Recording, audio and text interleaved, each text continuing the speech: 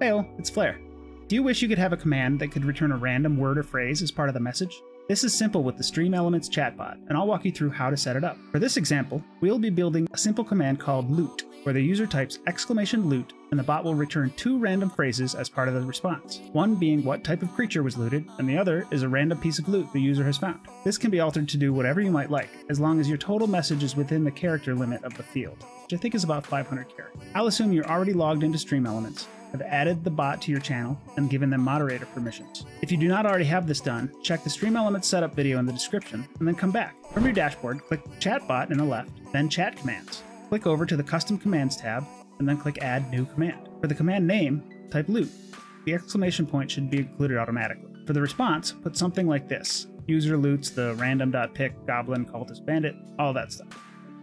I'm going to put it here. I'll also paste it in the description Trying to read it out is silly. Here we mention the user saying they loot something, and we use the dollar $sign random.pick command to randomly choose what the user is looting, between a goblin and a cultist and a bandit. Then we say they find a piece of loot, and we use the random.pick command a second time to determine which piece of loot they find. Each time this command runs, it'll choose one of the possible choices randomly for each of these random commands and use that as the output. For example, it could say, Phlare loots the goblin and finds a signet ring, or it could say, Phlare loots the cultist and finds an unholy symbol. You can add as many items as you wish to these lists. Again, as long as you don't go over the total character limit for the whole field, which is 500 characters. You can also move the lists around within the output, changing the wording around them. You can adjust the permissions and cooldown as needed, but we should be good to test now after you press save. If you go over to chat and type exclamation loot, you'll see the result. You'll want to change this to suit your own purposes, but you could do a lot of things with this. You could use it to generate random insults or compliments, make some small Mad Lib type commands, or do any number of them. Let me know in the comments if you need some help configuring this the way you want.